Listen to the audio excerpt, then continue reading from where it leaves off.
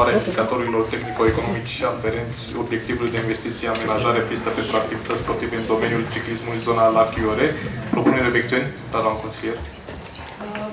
Propun ca în anexă să fie trecute următoarele observații amendamente în anexa care Așa, deci îndenumirea de piste de biciclete, lucrările trebuie să respecte prevederile codului rutier, respectiv să asigure fluiditate și siguranță participațiilor la trafic, inclusiv cea a pierdonilor. Lucrările trebuie să respecte prevederile planului de mobilitate urbană uh, durabilă 2016-2030 București-Ilfov, aprobat de Consiliul General al Municipiului București, condițiile minime de realizare ale infrastructurii pentru biciclete, inclusiv parcările pentru biciclete, sunt cuprinse în uh, ghidul de realizare a infrastructurii pentru biciclete în zona urbană, care face parte din PMUD. Fiind lucrări care trebuie să uh, se integreze în lucrarea, uh, în, se integreze în infrastructura orașului, acesta trebuie să asigure accesul bicicletelor și a pietonilor dinspre și către rețeaua de străzi și să permită interconectarea atât cu actuala infrastructură, cât și cu cea planificată de PMUD în 2016-2030 București-Ilfov. Asta ar putea să fie o propunere generală că în toate hotărârile că ne obligăm să respectăm legea. Asta e propunerea dumneavoastră și nu e prima dată când propunem să respectăm legea. Ok, nu, ați făcut referire la un paragraf de lege pentru Dumnezeu. Primul punct.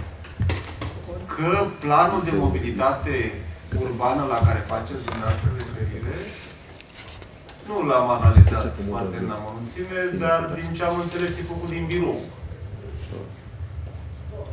nu cred că e normal să aprobăm noi în Consiliu, că ne legăm la cap să respectăm o chestiune făcută, repet. Din ce am înțeles, nu foarte bine. Ce vreau să vă asigur? Că noi am fost de nenumărate ori pe teren ca să facem un lucru bun, sănătos. În esență, noi, prin această pistă, scoatem bicicletele de pe inelul de lângă lac. Am avut și avem permanent accidente pentru că este foarte mare aglomerație.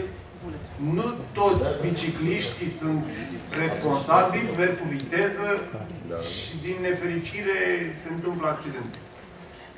Ce pot să vă spun? Că va fi pe zona perimetrală un avantaj este în primul rând că scoatem de pe inelul de pe marginea lacului, creștem lungimea pistei, pentru că fiind pe perimetru e o Corect. o suprafață, mă rog, o lungime mult mai mare și da, va fi interconectat cu tot ce înseamnă rețele de bicicletă din oraș, dar asta se va întâmpla atâta vreme cât noi nu gestionăm pistele de, de biciclete din oraș prin lege, știți chestiunea asta, ele vor fi interconectate pentru că toate pistele din zonă, normal, că n-ar rost să le dublezi cu cele care sunt în parc, nu doar că te deplasezi, dar este și o plăcere să mergi cu bicicleta prin parc. Deci parțial din ce spuneți dumneavoastră, să știți că nu parțial.